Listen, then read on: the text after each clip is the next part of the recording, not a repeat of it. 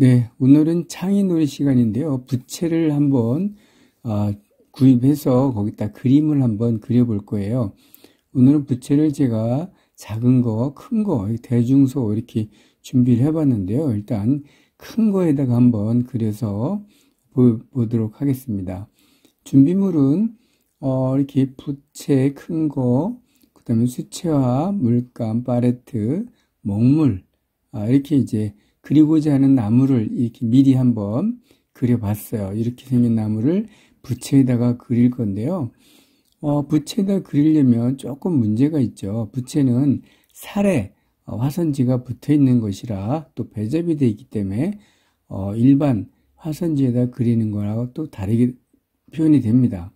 지금 보시는 것처럼 이렇게 어, 부채살 때문에 한 번에 붓이 제대로 가지도 않고요. 그래서 여러 번 반복을 해서 표현을 하면 될 것 같습니다. 아, 그럼 별로 어렵지 않으니까요. 한번 이렇게 따라서 해보시면 돼요. 네. 나무 가지도 이렇게 이렇게 해서 가지가 있는 거 만들어 보시고요. 또 위로 올라갈 수도 있죠. 아, 네. 좋아요, 구독은 꼭 눌러주셔야 되고요. 자, 어, 약간의 그 나무가 오래된 그런 고무나무의 표현을 하고자 지금 나무를 그려보고 있어요. 네, 왜 중간에 다 먹으로 칠을 않았냐면 어, 잠시 후 보시겠지만 어, 나무에도 어떤 무늬라든지 이런 결을 살려줘서 조금 더 어, 세련된 멋있는 나무로 만들어 보고자 하는 거죠. 네, 부채살이 총춤이 있는 부분은 조금 더 저렇게 목선이 잘 안 가겠죠. 그런 부분은 나중에 한 번 더 손질을 해서 선을 한 번씩 더 가서 어, 그 선을 예쁘게 만들어 보기도 하고요. 꼭 완전히 다 안 채워져도 충분히 그런 느낌은 나타나니까 걱정 안 하셔도 될 것 같습니다. 아, 우리가 그림을 그릴 때 잘 그리고 못 그리고 있, 다고 말씀들 하시는데요. 어, 정동욱이 개인 생각은 잘 그리고 못 그리고가 중요한 것이 아니라 내가 표현하고자 하는 것을 표현을 할 수 있느냐 없느냐가 더 좋은 것 같아요. 그게 관건이죠. 지금 아까 말씀드렸지만 중간에 어, 흰 부분을 이렇게 이제 올리브색, 그린색, 음, 그린색이죠. 그린색, 그린색으로 만들어서 이렇게 칠해주면 조금 더 그 나무에 이끼도 낀 느낌이 나고요. 조금 나무가 오래된 어, 그런 느낌이 나기 때문에 세련돼 보이겠죠. 네, 그래서 고목나무를 이렇게 표현을 하기도 합니다. 물론 작가에 따라서 그림 그리고자 하는 모든 분들에 따라서 표현은 다양하게 나타날 수가 있죠. 하지만 정동욱이가 그리는 것은 이렇게 그립니다.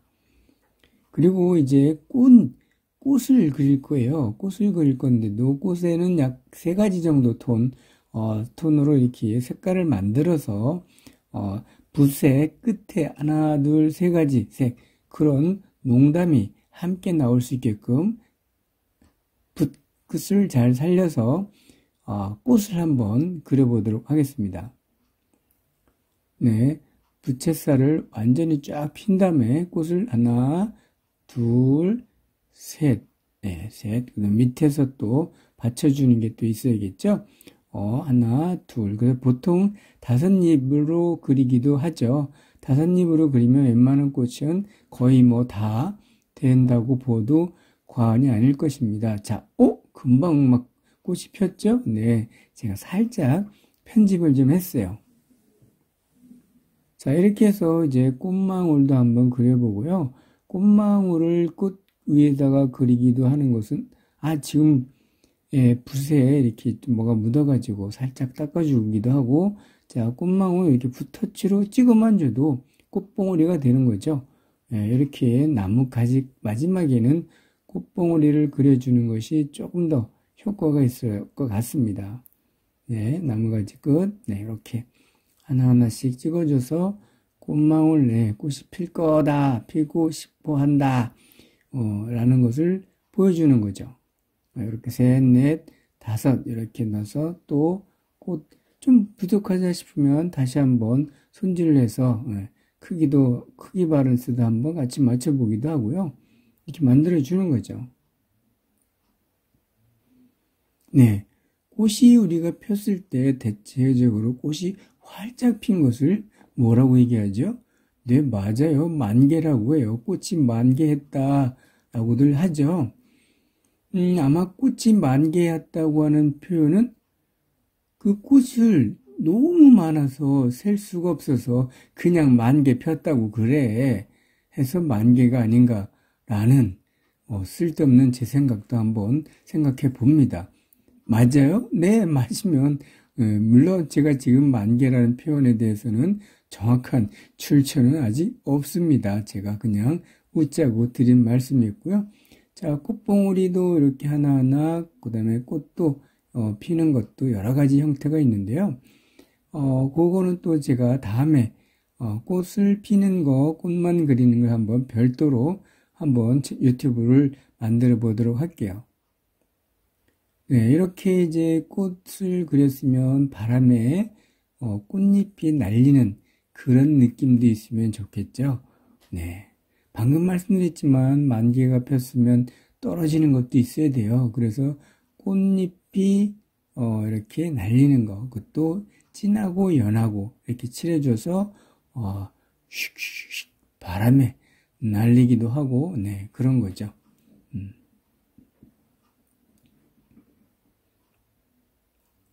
네.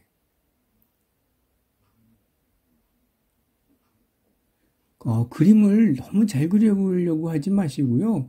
그냥 내가 할 수 있는 만큼만 하시면 돼요. 그리고 지금 제가 검정 라인을, 먹 라인을 다시 잡아주는 이유가, 어, 이렇게 삐쭉삐쭉 튀어나오고 살 때문에 잘 안, 안된 부분은 살짝 마무리해서 어, 조금 더 이 나무 가지를 어, 나무 기둥을 잡아주는 그런 느낌 뭐라고 할까요 좀 아, 웅장하다 어, 그런 느낌을 잡아주기 위해서 이렇게 살짝살짝 어, 다시 한번 리터치를 하고 있습니다. 네, 좋아요 구독 꼭 눌러주시고요. 네. 제가 유튜브 채널을 하고 있지만 지금 거의 어 200명대가 넘어가지고요. 와, 너무 신기해요. 네. 자, 이렇게 나무가지 중간중간 태점도 찍어주고요. 이게 옹이라고 그러죠. 옹이. 나무가 잘리고, 어, 가지가 꺾이고 하면 이렇게 옹이가 생기게 되죠. 어, 그래서 이렇게 태점을 찍어줘서 나무에 조금 더 오래된 그런 느낌을 표현하는 거죠. 아, 이건 찍는 건 원칙은 없습니다. 대신 어, 선생님들이 보시고 어, 적당하게 찍어서 그 느낌만 표현이 잘 되면 되겠죠. 네, 이렇게 해서 어, 일차적으로 표현을 해 봤어요. 그리고 조금 제가 욕심을 부리자면 나무의 이 목선이 두 톤, 세 톤 정도가 나와야 되는데 아, 그렇게 안 나온 게 조금 아쉽네요. 자, 그럼 이렇게 이제 꽃이 웬만큼 그려져 있고 크기 작기 작은 거 바란스가 맞아졌고요. 그 다음에 꽃잎도 솔솔 날리고 있으니 이제 요것을 조금 더 부분 부분 잘 정리를 해서 어, 조금 더 포인트를 줘서 꽃잎이 좀 살, 살아 나도록 한번 만들어 볼게요. 자, 그러기 위해서 제가 지금 노란색, 노란색으로 꽃잎 가운데 부분을 칠해주고 있어요. 꽃잎이 완전히 피기 전에 가운데는 약간 노란색 조가 있겠죠. 어, 그거를 어, 생각하시면서 음, 이렇게 노란색으로 찍어주고 있는데요.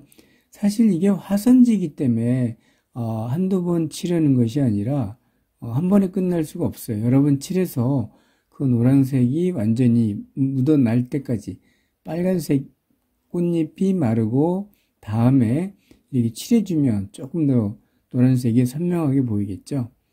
음. 그래서 여러 번 반복으로 칠해서 이 농담도 자연스럽게 올라오게 하면 너무 괜찮습니다. 네, 이어서 이제 제가 컬러펜, 빨간색 컬러펜 가지고 이렇게 라운드, 어, 아웃라인을 다시 한번 그리고 있는데요. 이렇게 그려줌으로 해서 꽃잎이 피고 어, 이것을 조금 더 어, 윤곽선을 잡아주면 조금 더 정리가 되는 것처럼 보입니다. 물론 기성 작가들은 이런 표현을 안 할 수도 있지만 저는 이제 이게 조금 더 선명하고 잘 보일 수 있게끔 약간의 저는 일러스트처럼 작업을 하기 때문에 그런 차이점이 있죠. 문인화의 전통 문인화의 어, 선생님하고 좀 차이점은 분명히 있습니다. 그것을 이제 제 그림을 보시면서 어떤 차이점이 있는지도 한번 다른 선생님들 유튜브 채널 통해서 확인하시는 것도 어, 많은 학습에 도움이 되겠죠. 자, 이렇게처럼 제가 웬만한 꽃을 다 이렇게 동조색, 빨간색으로 해서 어, 이렇게 붓펜을 라인을 잡아주고 있죠. 네, 라인을 잡아주면 조금 더 그림에 조금 더 효과가 보여집니다. 네, 이 정도 해서 이만큼 다 잡아주면요. 이제, 이제 또 다른, 또 다른 선명한 것을 다시 한번 해요. 자, 부분 부분, 어, 색 빨간색을 좀 넣어서 꽃잎 피는 부분에 강조도 해주기도 하고요. 꽃봉오리 강조도 하고, 이번에는 이제, 어, 우리가 이제 박명록에 쓰는 붓펜이죠. 붓펜을 가지고 이렇게 꽃수술을 표현을 해 봅니다.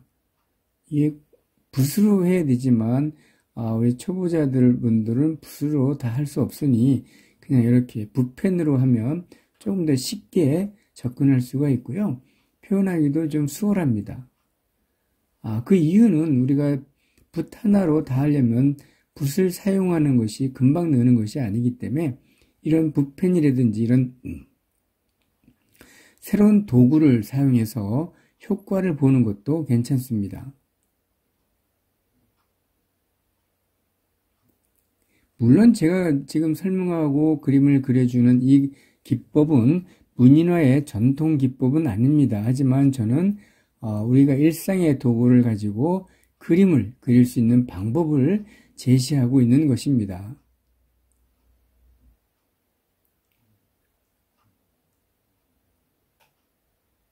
어때요? 라인을 빨간색 붓펜으로 라인을 긋고 또 이렇게 어, 방명록에 쓰는 이런 방명록에 쓰는 붓펜을 가지고 라인을 잡아주니까 훨씬 더 꽃이 선명하게 살아나고 있죠.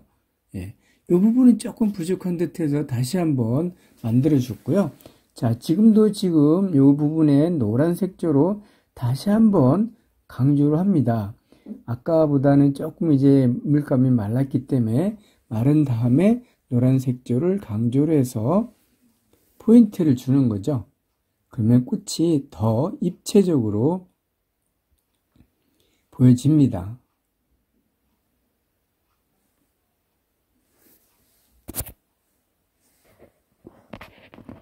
어때요? 잘 보이시나요?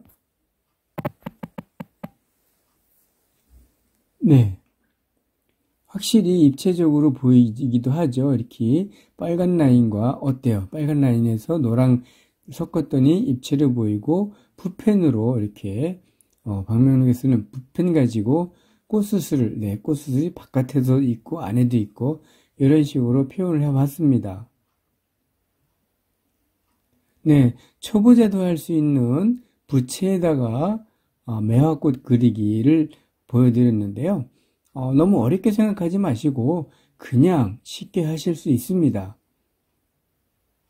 전통적인 문인화 기법이 아니라 일러스트를 겸비한 그런 문인화 기법으로 오늘 아, 제가 창의놀이 부채에다가 문인화 기초 그림 그리기를 보여드렸습니다. 네, 끝까지 시청해 주셔서 대단히 고맙습니다.